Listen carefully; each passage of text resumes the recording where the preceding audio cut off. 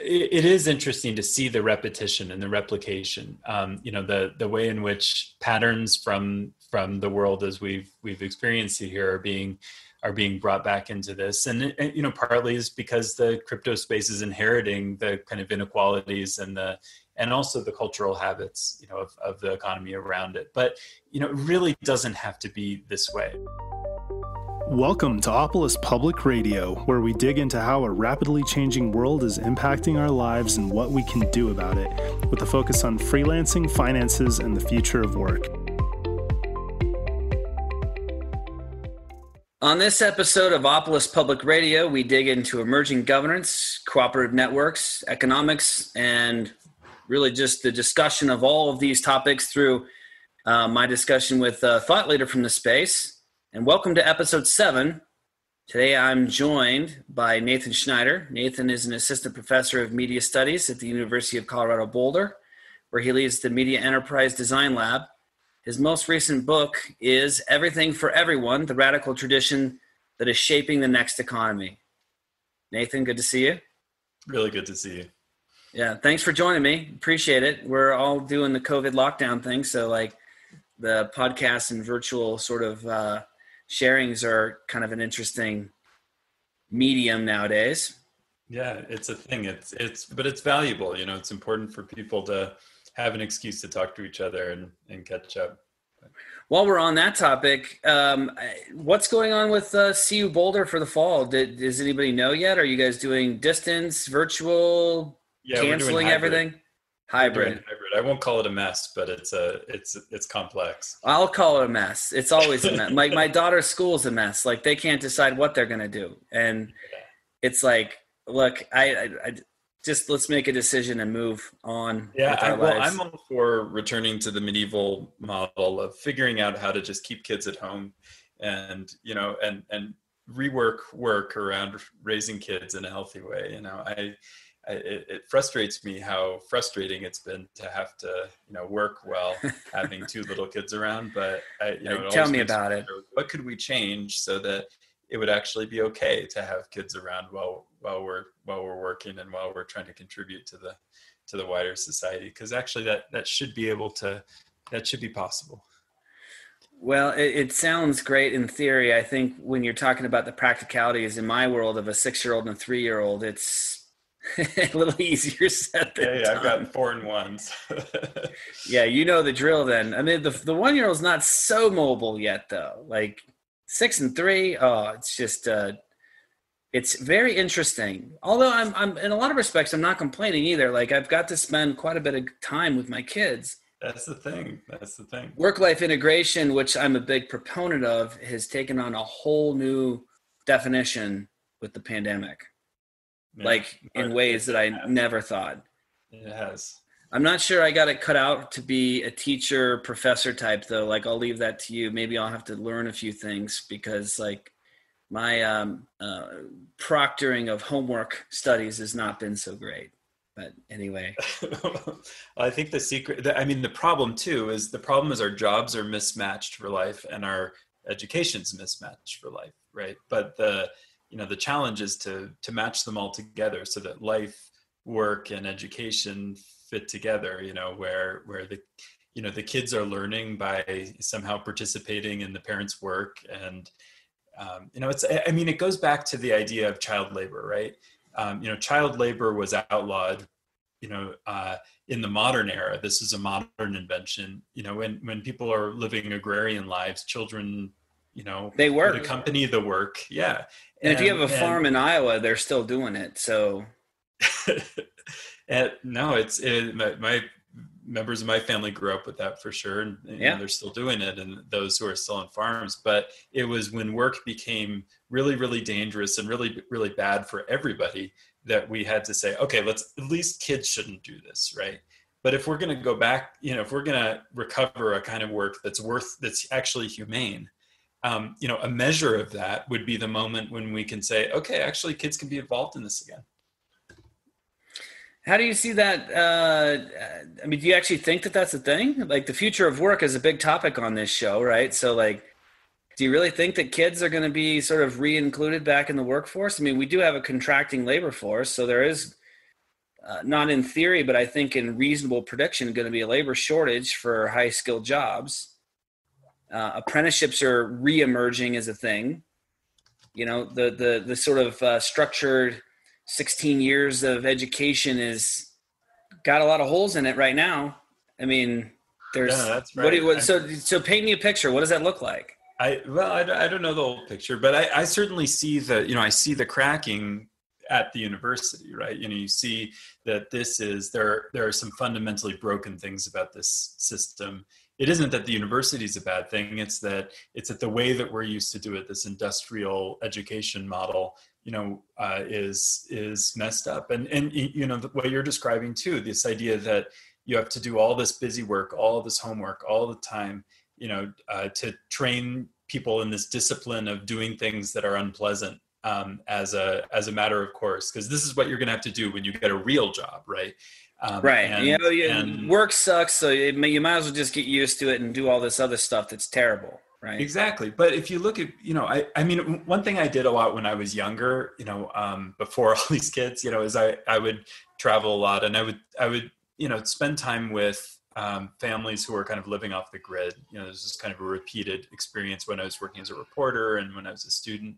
And, you know, I was just always amazed at how smart those kids All right, guys. It looks like we lost Nathan. I thought I might be frozen, so we're gonna wait for Nathan to jump back on. Um, while we do, um, a partner entity of ours, ETH Denver, has been partnering with the state of Colorado um, on the Colorado Lottery Game Jam. So if you haven't checked that out, here's what's really interesting about that: the state of Colorado is actually crowdsourcing their entire their a new game for their lottery platform through a hackathon or what's being called a game jam. So it's been a really interesting thing to watch kind of the, the level of participation that we've seen in this through, uh, I think there's like 20 something countries represented and almost 200 participants.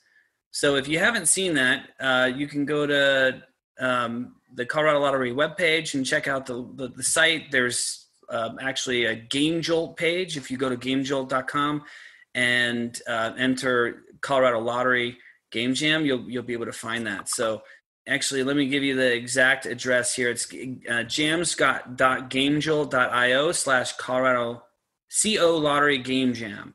And uh, there's over $25,000 in total prize money, and it's actually happening right now through this Sunday evening at midnight is when projects are due. Well, why don't I give you a quick update on a few things that are happening with Opolis. So we've got a new product release coming out. We're going to be adding all of our dashboard features and functionality here in the coming weeks. That's going to be really interesting. So all of your history and accounting will be available to you at your fingertips. Uh, we've added support um, for automated um, currency conversions. So um, if you are electing any of your payroll in a different currency aside from USD, all of those things are now going to be fully available to you to configure from your account. Um, that's part of the dashboard release. So really cool and interesting stuff. All right, did we get did we get uh, Nathan back? Yeah. Looks like we did. Yeah. Sorry about that. It seems like a roving internet blackout. I thought it was me. So I'm sitting here like literally like not saying anything because I'm like, oh snap. Like I've actually had some technical difficulties myself. So then I, I was notified that it's not me and we lost you. Yeah. It, something just got disconnected here uh, on everything for a few minutes there. Sorry. well, welcome to the virtual world. It's totally okay. So what, what, what, why don't we just jump into yours and mine favorite topic, governance. All right. and the future of the G word. So, governance is a really complicated subject, I think more so than most people quite understand. I mean, the history of governance, like different, different governance models, technology and governance, like all of these different things. What are the most important current trends that you're seeing, not just research wise, but what are you seeing being like really um, experimented with? What are the what are the top use cases for innovation or modernizing governance systems? Yeah, well, it's kind of good news and bad news um, as as I see it. So on the one hand, you know, what were the the legacies of of governance among peer groups and online communities like i think is you know despite the creativity and imagination and initiative of lots of people the tooling the infrastructure behind it is really bad um, you know and this is something that i call in, in my in uh, some research implicit feudalism is this idea that that the all you need to govern a, a, community is like mods and admins who have infinite power no term limits and the ability to silence and remove people at will um, is is a very Sounds like weird, social media.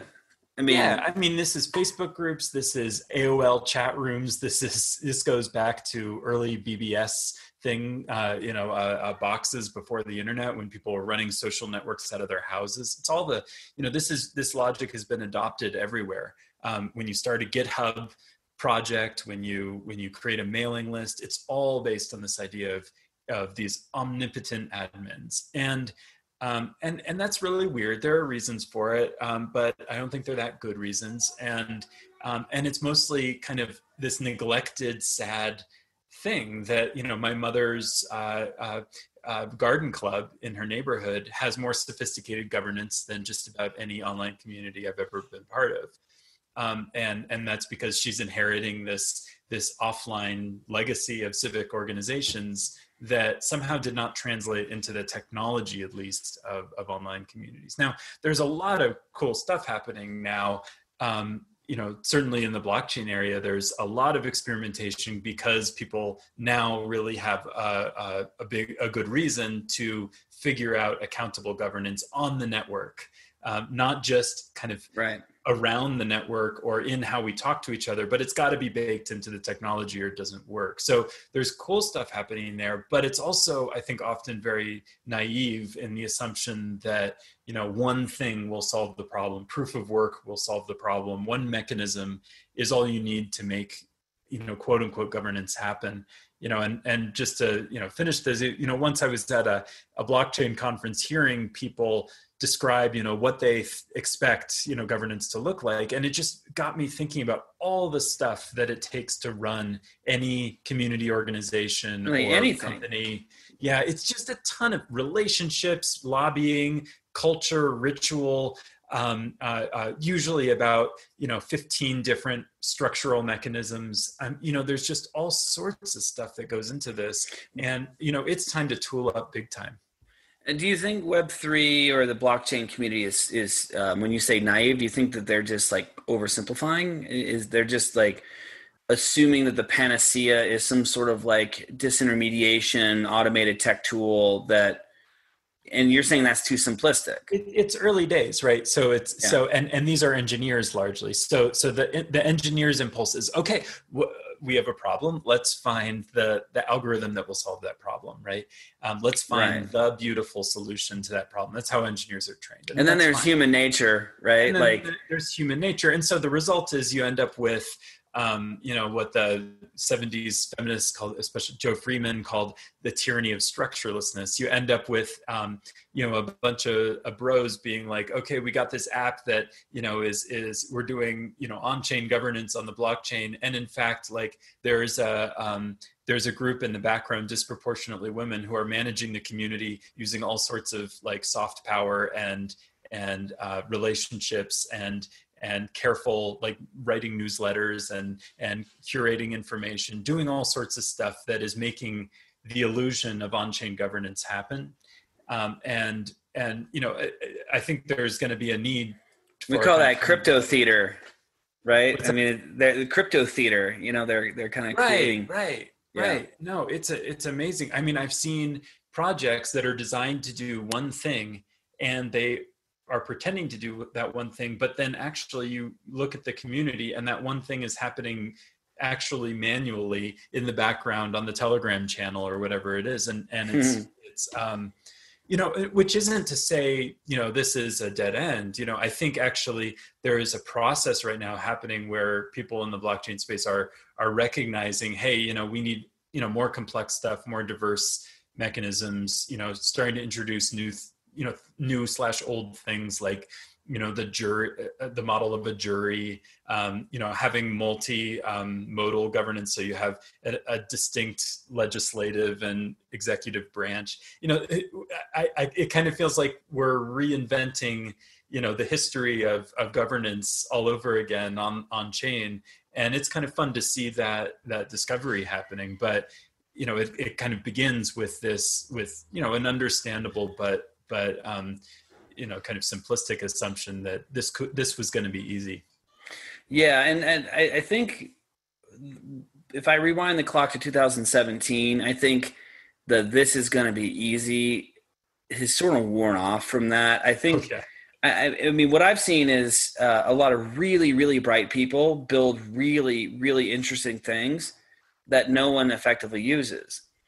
And it, it's not that well, I think I think the conceptual form of governance, or like you know, creating almost an idealistic format, um, saying, "Well, this is how governance should be," sort of is is you know uh, one way to approach it, but it, it doesn't seem terribly practical. It seems like what's happening now is people are now looking for more sort of like approachable use cases that you could like pragmatically engage people whereas you know like for example you know in, in a lot of the the governance mechanisms that you see in the blockchain space like there's no there's no functional reason why i should participate really. I mean aside from just novelty and you know i, I don't have like a meaningful part of my life staked in this thing you know like whatever it might be.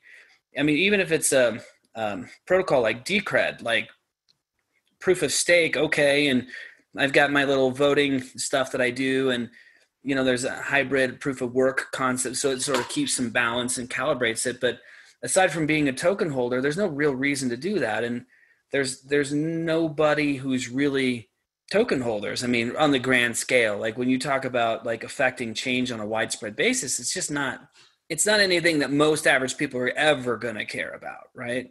Yeah. So think I think this is where Opolis is I think we're whether we're leading or following that trend, I don't know, but like I think that's what we've tried to do is say, well, what what's like really core and fundamental to a person's commercial experience, right? Like well, in, in my background having come from employment and HR and HR tech, it's like, well, I mean, everybody really has to deal with paychecks and everyone has to deal with payroll and benefits and healthcare and in the US of course and and like all of these other sort of ancillary sort of necessary evils right? Like we take a lot of that for granted because the current engine that drives that stuff is the corporate engine right? Mm-hmm. and there's all of the infrastructure and systems that are designed to support the corporate mechanisms like facilitate that stuff right? But now the labor trends moving from this corporate model to you know more of a user centered you know not you know sort of in the spirit of the web 3 space like the user centered internet right like moving away from corporate dominance to like you know user controlled networks community owned networks um, you know really getting to a, a, a version of capitalism that might be described as stakeholdership versus shareholdership mm-hmm. um, is kind of an you know we've sort of approached it from that standpoint. What what do you um, what do you see happening in in that space? Like when you talk about cooperatives and and moving sort of the pendulum from like not just what Opolis is doing, but like what other things are you seeing happening? What are these use cases that maybe you think are good experimentation zones for um, functional and adoptable governance models and experimentation with new tech? Well, you, I, I, mean, you're hitting on something really important when you say, you know, what, wh- where is it that it really matters? You know, where it's yeah. going to matter enough for people to participate, and and you know that that's important. You know, I mean, I mean there are certain spaces in our lives where um, where we do want to participate, we do want to have a say, and there are others that we don't, where we don't want to have a say. And you know, the question is how to make all of those appropriately accountable. Um, and work is something that I think is, you know, is a really important thing to target. I mean, we, we live in a, you know, there, we, we see survey results, for instance, where most people feel um, unengaged and disconnected from their work. Seventy percent. No, it's it's it's seven out of ten. It's insane. And and um, so you know, so the the world that I've I've been you know focused on for the last few years has has been the world of cooperatives, which is a an old form of business where people are own owning and co-governing their their um, the businesses they interact with, and in some cases that means that there are workers uh, uh, that are you know co-owning and co-governing their workplaces. Um, but uh, you know all of this points to I think a very sensible idea, which is that you know participants can and should you know have a say in the stuff that they care about and in the stuff they rely on. Um, you know the problem is I think we've um, uh, uh, we, we've we've allowed the growth of a system that that disempowers people, an investor ownership model um, that it's that, all driven by capital. It's well, the, it's based on the logic that yeah, that that the capital holders should be the ones in charge. the capital the, is what quantifies value, and it's in in this sort of um, information age or technological age that we're in. Like the value isn't really just created through capital anymore right. And and you know even if even to the degree that it is the idea that you hand all the power over to capital you know that's a decision that was made you know about how the about how the economy should be organized um, made over time through lots of small decisions. Um, and there was a time where you know cooperatives were um, starting to gain some of the same access to capital, for instance, but it was member-controlled capital, not not investor-controlled capital, and um, and we, we, really kind of left that model behind. So so we ended up with you know actually in Britain the cooperative model was made legal as a corporate structure before the modern investor-owned corporation. So it's an older model in certain respects, but the investor ownership got accelerated and lots of tax benefits and lots of you know lots of little tweaks. You know 1979 opened the door for pension funds to invest in venture capital so the vc market gets going. So all these little decisions accumulate with a massive advantage for investor ownership compared to community ownership. Well it seems like we've really been incentivizing that. I mean that's when you say these little decisions i mean it's whether it's legislatively or whatever i mean it's being it's being pushed as as an engine that, and when people are kind of looking at decisions about how to organize and and where they can get capital i mean they're going to look for the you know the best chance of survival and sustainability and it look and and then we've also created this this machine of the i think it's a mirage personally because when you look at the stats most startup businesses fail right mm-hmm. so like the probabilities of actually having an exit in a in a startup effort is like very very small much less a home run. Yeah.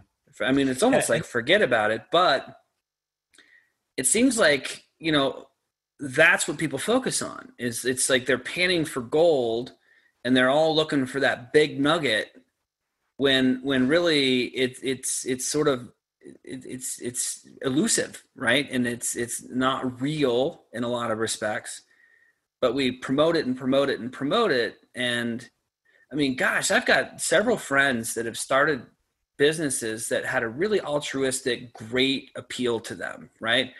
And for one reason or another, whether it was a, a capital thing or or whatever, like they just they just they couldn't get it built. And it's it's you know, is it a waste of creativity? I don't know. I mean, uh, there is some personal responsibility that people have for these things, but like it seems like the mechanism for building these things, um, for building innovation, is sort of aligned against public good in a lot of respects, like in the long term, right? It's it's aligned for us, you know, according to a certain way that we figured out how to how to fund new things, and uh, but there are a lot of gaps that you know, and venture capital is really really good at high risk stuff that takes over whole markets, and you know, it has certain features um, that you know that have been useful for certain things but what about everything else? Um, you know one, one of the things that that my lab and collaborators have been working on um, is this idea of exit to community right? So we're trying to add a third exit option not just yes. exit to acquisition or exit to ipo but an exit to community ownership. And our idea is if you add you know additional exit models and and trajectories you can you, you add whole new classes of companies um, you know companies that are designed to build community and to support community and ultimately to become accountable to those communities um, and and you know all this is to say you know yeah there are some things that vc does really well and and Um, and there are some things that are really scary about it. But obviously, if you rely on any one model for everything, um, you know you're going to get in trouble. And and certainly for um, projects that are aimed aimed to create a social good and that are aimed to serve communities, um, you know we should have available uh, the means for them to be community owned ultimately and and that's the way the the early investors and early founders get yeah they get they get exited. Yeah. And I, and I I mean I love I I'm familiar with your your terminology that you've created there because I, when I heard it first I was just like yes this is exactly what we need. You know what we need is uh, we need uh, we talk a lot about the the function of sustainable uh, benevolence right? Like legal and technological means and mechanisms um, and there's layers to this right? Because it's not just you know it's not just a legal corporate structure and it's not just technology. There's you know the the board dynamics and how people have voting and governance and like how things actually get executed. But it seems like well here's an interesting trend. So when you look at what motivates people in work we talk about 70% of people being disengaged right and you look at the current iteration of capitalism, we have a system that really creates labor arbitrage on behalf of capital, right? So, where the value comes from is people go to work for these large organizations, their productivity goes into the pot, it's basically farmed and extracted on behalf of capital, and they get a wage and benefits and other things in return, right? So, there's there's this sort of like you know you could call it it's it's industrial revolution reciprocity right? It's it's that version of it. But it seems like what what's really happened is that method is not only misaligned with where things are going commercially but it's also misaligned with what's important to the labor force. Because you know boomers aside when you survey the xers yers and zers on what's important to them in work it's alignment of values and sustainability and really kind of thinking more than just as work as a means to an end, which is really what work has been by and large for many, many millions of Americans through the 60s, 70s, and 80s, or even post World War II. It's really just safety and security and feeding my family. Now people are really seeking to align what's important to them with what they get up and do every day.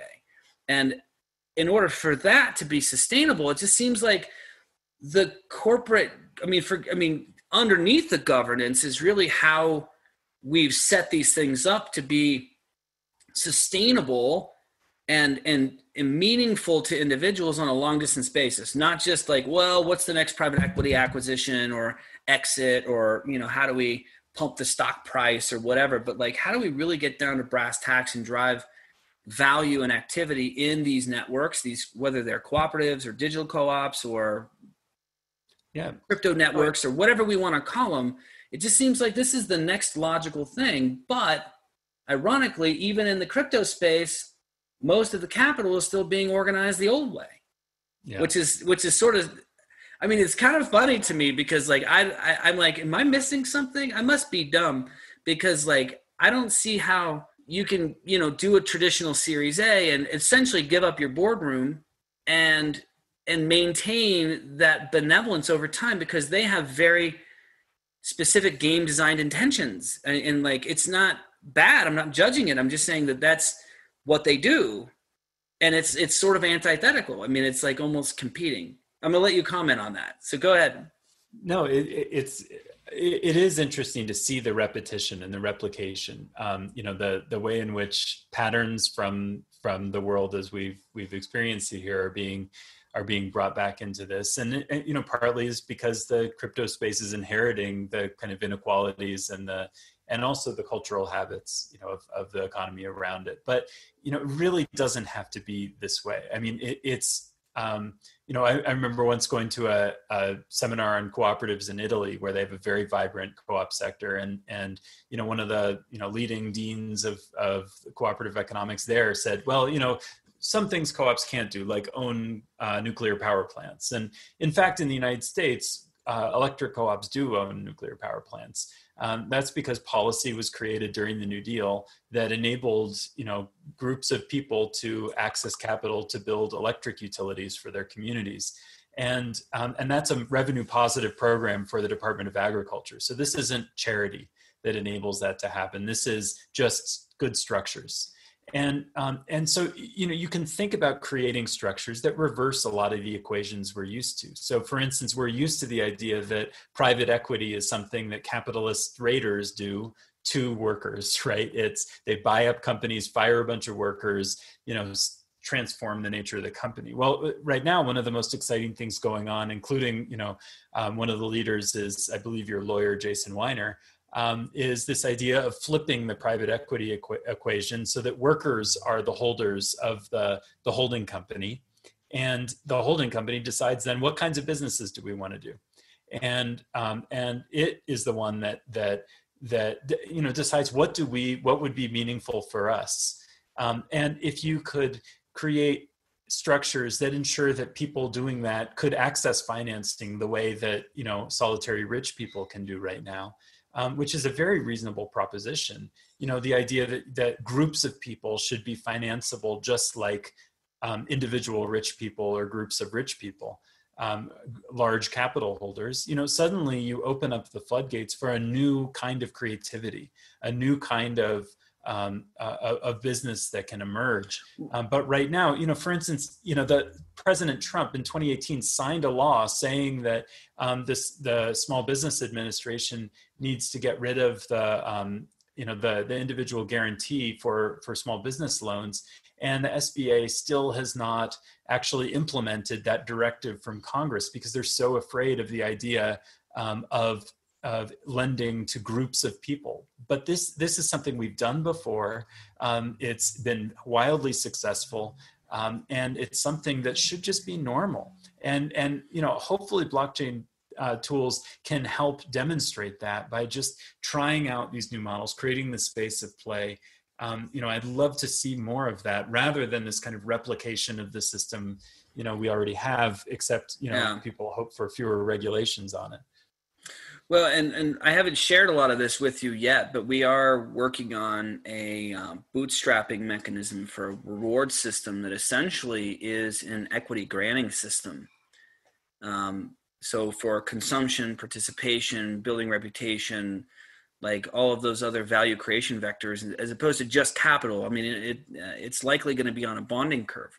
And, and, so the equity grants are to the workers or to others? To the work to workers, to people actually in the commons, right? So those consuming services based on the volume, that's the initial release, right? Like, but there will be probably other things uh, released later on where you can, you know, stake and do other things to actually like, you know, earn additional um, equity in the commons, and then you will be able to invest. But the one thing that we're doing is intentionally curtailing um, the power of um, purely economic investors, mm-hmm. right? They'll get enough um, other goodies in the bag, like liquidity, uh, one, and they'll also get um, dividends, right? So we're sort of horse trading dividends and liquidity for governance, right? Because governance really, in the end, doesn't. Um, well, if you're going to talk about alignment of actors, right, and keeping the game design sustainable, so that you're not you know creating that divergence where you know usually capital and, and users over time diverge in their alignment of incentives.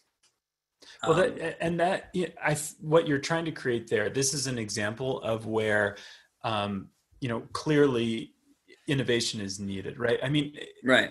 you know years ago i you know i started working on this platform co-op stuff and we were always like oh, okay you know the big enemies are like Uber and Airbnb, these big platforms that you know centralize everything and and um, exploit the contributors and and all of it's oh, for right. the investors and whatever. But yeah. now you know in 2018, 2019, those companies were filing um, letters to the SEC um, begging regulators to let them do equity grants to their users, right?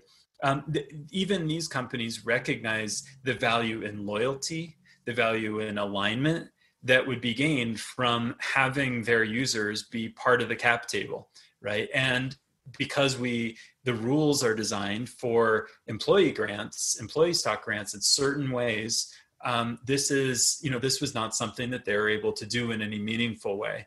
Um, but but you know the fact that these big bad companies you know so clearly and the, the airbnb letter is actually quite beautiful i, I really recommend people seek it out because uh, it really lays out the case for why um, a company such as it should see value right. sharing ownership with yeah. with people who are contributing to the company yeah i think they're starting to get it i think i think it's just a little bit of a almost like oh crap yeah. Now now what do we how do we modernize ourselves? And and well, i'm not my experience is a lot of founders founded their companies for reasons like you know because they wanted to actually enable cool things in the world and enable the sharing of value. But the only pathway they were given was the vc pathway. Well it's, it's that's the pathway right through the tragedy of the boardroom which is what we talk about quite a bit which is that yeah.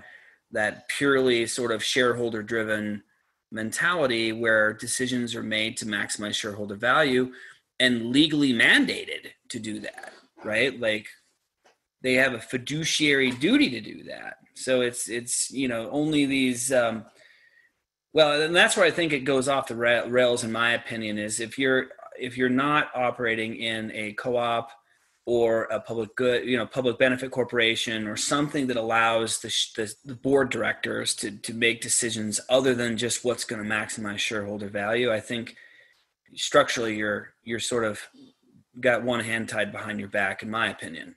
Fortunately, there's a, you know, this is, this is a really, you know, in a small way exploding space, you know, and, and you, you know, you all are part of this, you know, organizations like Purpose and, um, you know the others you know it's a it's a growing area where people are trying to figure out how to uh, how to make you know the, those decisions more accountable to the right people. And and it's you know it's exciting how long have you been working in the the co-op platform space again? You said uh, what 10 years something like that? Yeah yeah. You know i i was i got into it out of you know my my youth was shaped by 20 28 uh, 2008 right? You know and i right. was you know did a, a book early on then about occupy wall street you know i was i was running news uh, uh, a news platform about protest movements and and then you know i started getting more interested in you know what do we do about this stuff and right. i saw lots of those protesters getting into cooperatives and and hmm. seeing mm. you know seeing okay this is if you were to ask this generation that was you know screwed over by this event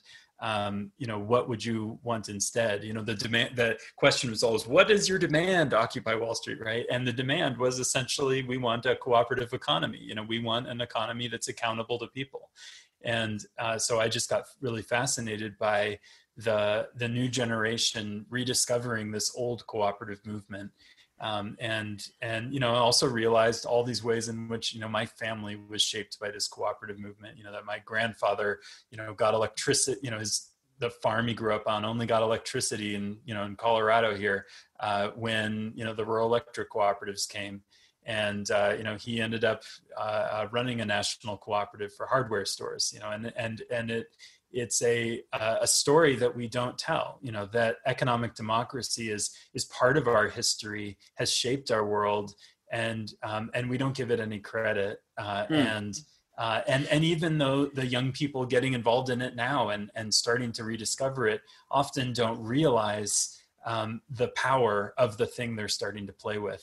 Yeah, I don't um, think they do. I, I mean, I, I, think we're, we're missing um, a, a, context of history too. I think that history is not something that's being promoted generally in, in, in you know most kids schools you know like i mean it's well, there I, but they're not I called te- the the the person in charge of the the the uh, primary school education associate uh, uh, association for economics education and you know in high schools. He had he didn't even know what a cooperative was.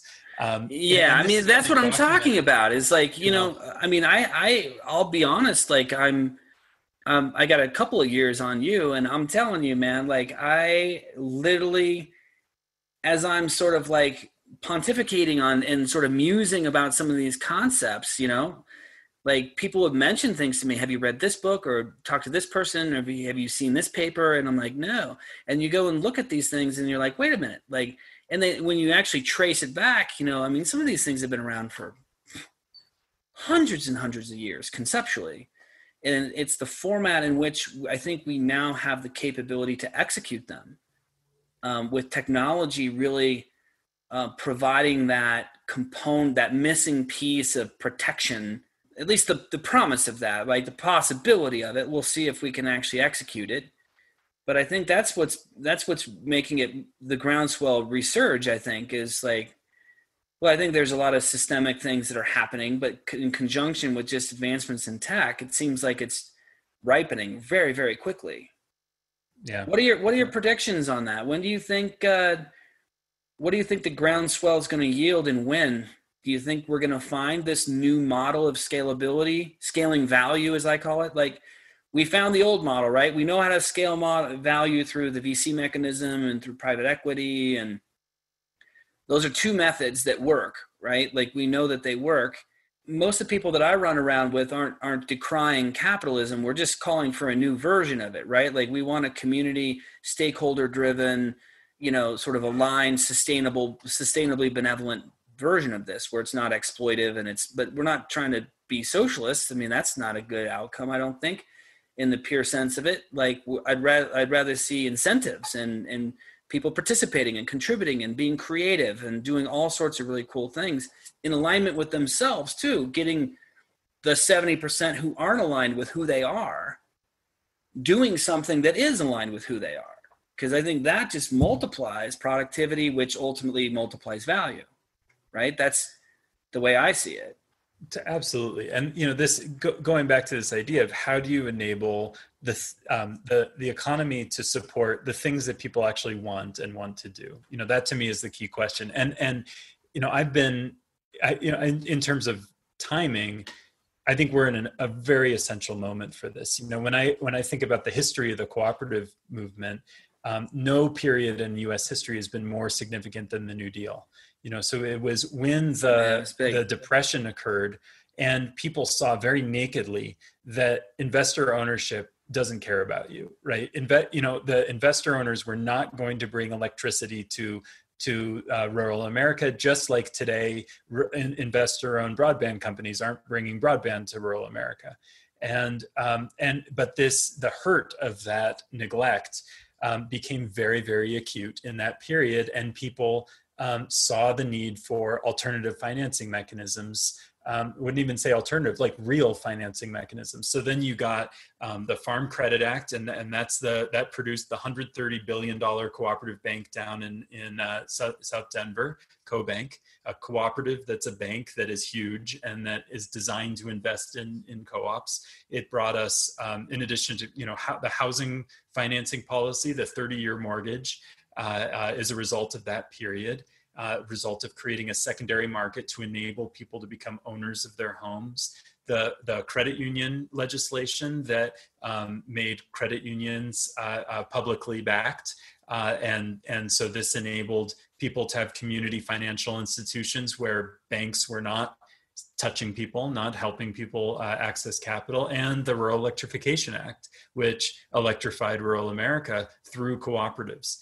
Um, and this is, you know, these are all examples of how there was a need for a public response because it, there was such a clear market failure in meeting people's needs. And i think we're we're entering that again. We have a situation where the so-called essential workers are not being treated as remotely essential by our economy uh, we have um, a, you know massive unemployment situation. We have uh, we have uh, you know major questions hanging over us of who's going to own what and how are we going to create the next wave of innovation that is going to meet the challenges around you know around uh, remote work, around um, around green energy, um, and you know the and what we what we we need to recognize is that we're surrounded by people who want to do those things, who want to take on those challenges, but who don't have the capital access to do it. Um, so that's why you know I think we're we're in a moment where we need to look back to the ambition of the of the New Deal programs that we're willing to reshift how capital flows in the economy and um, you know and and the blockchain space is in a is in a really unique place. I think there's an opportunity for an alliance between uh, blockchain folks who want to create you know community funded and supported and owned um, uh, projects. You know that's what you know the the better parts of the whole ico craze were about right? right. And you know the cooperative movement which which wants to create businesses you know grounded in you know grounded in economic democracy. So you know the the opportunity to bring these forces together um, to meet this challenge of of you know what I think is going to be a deepening market failure um, is immense. And and and it's really a lot of the same solutions. It's just we need a, a fair and accountable framework uh, that supports community ownership and community uh, capitalizing community initiatives. Um, and and I think you could kind of create a a universal um, uh, framework to support that kind of thing uh, uh, that would uh, that that would cover and, and create a, a, a, regulatory framework for blockchain projects and a regulatory framework for for community crowdsourcing, community funding, investor right. accreditations. You know, all that's all this stuff that currently gets in the way of of funding sustainably these kinds of projects and and getting these entrepreneurs the right capital. And yeah, I agree. And uh, look, I, I, I, um, it's going to be really interesting um, to see what comes first, the chicken or the egg. I mean, are we going to somehow stumble on this funding mechanism strategy just because a project tried it and it's going to be successful, or do you think we're going to come up with this uh, just independent of any one project? The legacy of the, you know, the New Deal was that experiments that had been happening for a couple decades ended up becoming the model for the for the outcome. So credit unions, uh, rural electric companies, um, uh, you know, all these things were tested out before and were ah, adopted. I see. Interesting. Um, but you know w- the real danger of that is it is those were silos so right now you know i i tried to for instance organize a conference of co-ops across colorado the credit union people and the rural electric people don't have any desire to talk to each other because their policy their enabling policies are so different and they don't really even feel themselves as part of a common movement. Um, I think this time we need to recognize there are all these needs, you know, ranging from, you know, uh, urban communities trying to own their own businesses and blockchain entrepreneurs trying to invent the future right and recognize that there's a common thread across them which is which is community ownership and rather than creating a bunch of piecemeal interventions you know that bank down the road you know it can't invest in the new co-op startups that i work with because it was created with n- narrow policy. You know instead we need to be thinking about um, a broad framework that encourages creativity encourages innovation and that covers this breadth of use cases uh, around the missing piece of community ownership that you know that we really need here. And so i think if we have that comprehensive if we add our are are the lessons from our early experiments together with a, a, a vision for for a comprehensive you know political and and policy strategy um, you know then i think we can we can do both at once. Yeah I, am looking forward to it. I mean i'm i'm i'm encouraged by what i've seen over the past several years. Also some of it's been a little bit painful you know to go through. The ico craze was one phase that was like no stay away from the light. But you know, people ran in and they did all sorts of things. But I think the market calibrated because of that. But it seems like I think it seems like wisdom has been gained a lot faster than I would have expected. And just seeing the shifting sands and narratives in the blockchain space and what people are talking about, like, you know, um, uh, incremental decentralization and and sort of like you know really bootstrapping and and really tackling um, you know state and federal policy you know trying to really get into the you know how do we how do we evolve versus you know it's the evolution versus revolution kind of thing. And it seems like we've matured a lot on that front. Um, i'm not sure that we've gotten all the loose bricks yet but it seems like they're coming though. I mean it, i mean at least that's the hope I, I mean, I think I think you're right that there's a there the acceleration the this pace of learning is is faster than, for instance, what we saw with the development of the early cooperative movement, right, which took about a century to get. Um, you know, oh, it's get, fast. I, I, think I, I think it's really yeah. fast. I mean, even I mean, we took about a year doing our research in in cooperative law, as you know, and we we um, I mean, gosh, it was longer than that, eighteen months, and because all of that groundwork had been laid i mean it totally accelerated our learnings like because we we basically got a you know we got the answers to the tests in some ways and we was just more educating ourselves and understanding and then visioning sort of what could be next right? So it's uh it's going to be very interesting. So nathan we have a couple of questions coming in from um, our viewership here. One from joshua t. Do you want to take a couple questions? Sure uh, nathan do you have a favorite design making model pure consensus holacracy, sociocracy etc um, I don't have a favorite, but I've been building a tool to help people uh, find the ones that are right for them. Uh, and that's called Community Rule. Uh, it's at communityrule.info. And it's a, you know, it's very much a work in progress, but it's a tool designed to enable groups to design their, you know, what their governance structure should be. And, um, and we've got some templates there that include some of the examples uh, you mentioned. Uh, mm-hmm. But I think it really depends on the context. You know, for instance, I'm you know a pretty democratic sort of person, but um, but I think it makes a lot of sense early on in a lot of early stage projects to have you know the kind of benevolent dictator at the start. Um, uh, and and so it really depends on the stage. And one of the things that I think we need to gain, uh, you know, greater um, uh, skill in doing is is moving between systems, being comfortable knowing when it it makes sense to shift gears and and to reorient. Uh, and uh, to have kind of mini revolutions and to also be innovating. You know, you, we were just talking about the accelerating the the the uh, learning process and and one of the things that's been really fun to see on community rules people can post their rules to the site and starting mm. to see people learn from each other's rules and copy things from each other um, that to me is going to be when you know that that's sure. when things open really source government got open source exactly. governance yeah. yeah. no i i mean look I, I i think you know the human essence is is very a very powerful thing. And we've created historically such a competitive scarcity driven you know fear driven sort of mechanism for sharing creativity right? Like and it seems like we're sort of moving away from that in a lot of respects which i welcome because it, it just feels like there's a lot of things that just don't need to be monetized. And in it's like the public utility infrastructure stuff right? Like in and in this case the creativity around governance and sharing experiences and and really the learnings is going to just accelerate it even that much more it seems like. Well i guess i guess your answer is it really depends on the use case for that.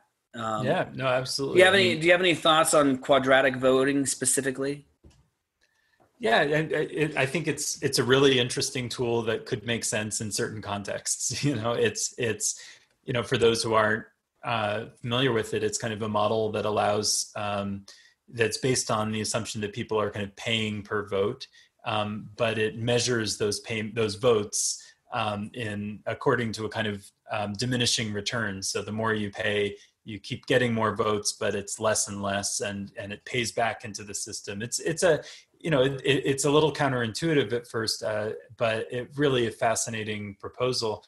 You know, what what kind of rubs me the wrong way is when it's proposed as, oh, this this is the optimal, you know, means of governance for everything or for mo- for a, a, a large uh, range of of uh, things, and and I I think rather it's it's you know it's a useful tool for certain things um, it's a really valuable contribution. What I want to see is, you know, a hundred more such new governance structures. So rather than us thinking about democracy as this button that we push on or off, or a constitution that has to look a certain way, um, like as you know, the West has been importing, you know, a kind of liberal democracy over to every possible context it can find in its colonial reach um, instead to to recognize that actually what we need is we need much more open conversations and more people like you know Glen Glen Weyl who you know was one of the developers of that model to right. be you know to be developing lots and lots of new um, techniques that we can use to better reflect um, and uh, uh, the the uh, the accountability that we deserve in our systems. So to me, that's just, you know that's just a wonderful quiver to ha- you know wonderful arrow to have in our quiver. But uh, you know, let's not imagine that that's all we're going to need. Yeah, well, there's a lot to do. There's a ton to do. So I'm going to give a quick shout out to Kevin Owocki who said, Hi, everyone. That was his question. So I'm going to go ahead and close Great question, out. Hey, Kevin. Good to see hey, you. Yeah, good to see you, Kevin.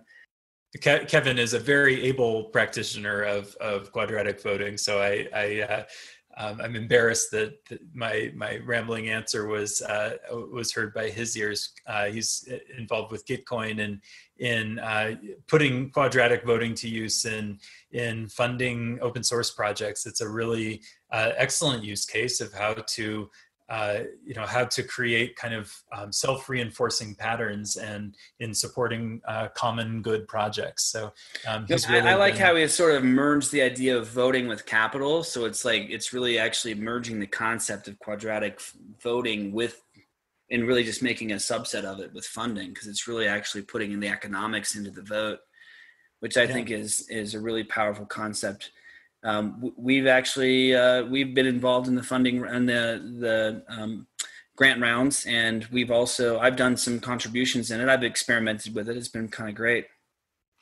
Question is, um, should we QF all the things? Yes, I think we should, Kevin. At least that's one one avenue that we're going to explore. So quadratic funding, I think, is is something that um, I'm a big fan of. So we're gonna, at least I'm gonna continue to support it. What about you, Nathan? Well, uh, again, yes, I'm going to continue to support it. But but w- one thing I really appreciate about Opolis when um, you know we, when we had a call about your uh, your uh, paper er- early on was um, was you know I asked okay how are these groups going to govern themselves and you said I kind of don't want to answer that question I want that to be you know that to be something the groups discover um, and you know I at first I was kind of like, no, no, let's impose, you know, like um, Jacobin democracy on on all of these things. What a great opportunity to, you know, impose worker uh, democracy. But um, you know, I, more and more, I think you're right that we need to be creating spaces mm-hmm. where there's spaces where and tool sets for diverse, yes, um, you know, diverse approaches and and. Uh, you know, and that's gonna that's gonna produce both the innovation and the and the kind of healthy uh, uh, responses. Yeah. Well, with that, um, we're going to wrap it up for this episode of Opolis Public Radio. Nathan, it's been a pleasure. I mean, you're you're um, the work that you do. I find not only fascinating but so critical. And in the context in which you're doing it in our educational system, I couldn't think of a more important um, curriculum and, and just effort to be doing. So, you know, thank you for all that you do and that you contribute in your own creativity that you're putting out into the world. So, I would say that you're probably not one of the 70%. You're probably in the 30% who actually enjoys and is aligned with what they're I what love they're my doing. job. I feel yeah. very grateful to have the chance to, you know, serve the state of Colorado and and and its students and and uh, and the and the broader community. So I'm really grateful for the opportunity. Thanks for thanks for having me on. Thanks for all you're doing. Well, we're going to keep doing it, and there's going to be much more Colorado stuff coming. So we'll keep you up to date. So thanks everyone for listening. Remember to subscribe to Opolis's YouTube channel for more videos just like this, or to your uh, podcast distribution mechanism of choice if you prefer the audio version. If you're a freelancer, gig worker, independent contractor, entrepreneur, solopreneur, whatever, and you're looking for an employment solution to become self-sovereign – Make sure to visit the Opolis website. That's opolis.co, O P O L I S.co. And we'll see you there. Thanks, everybody. Thanks for listening. We hope you liked the episode. If you did, please leave us a rating or review and don't forget to subscribe. See you next time.